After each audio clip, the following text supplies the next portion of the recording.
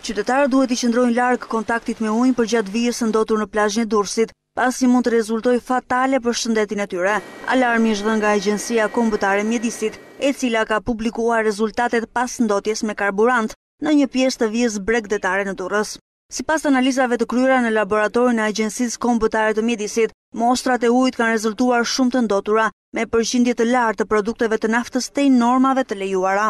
Nga vlerat gjykojmë se ndotja me hidrokarbure është shumë e lartë, çka për shëndetin e qytetarëve dhe mjedisin, gjendja është alarmante. Për këtë arsye, ndalohet kategorikisht kontakti me ujin apo larja në det e qytetarëve. Deri në momentin e rehabilitimit të plotë mjedisor të zonës së prekur në plazhin e Durrësit, në një gjatësi prej rreth dy pikë pesë kilometrash. Pas analizave të para, Agjencia Kombëtare e Mjedisit do të vijojë të monitorojë situatën për të njoftuar më pas qytetarët se kur mund të konsiderohet zona jo e rrezikshme. Bregdeti i Durrësit u ndot mesditën e së shtunës nga një sasi hidrokarburesh që preku një gjatësi prej më shumë se dy pikë pesë kilometra vijë bregdetare në zonën e plazhit Iliria. Ndonëse prokuroria ka nisur hetimet, ende nuk ka asnjë të ndaluar për këtë masakër mjedisore.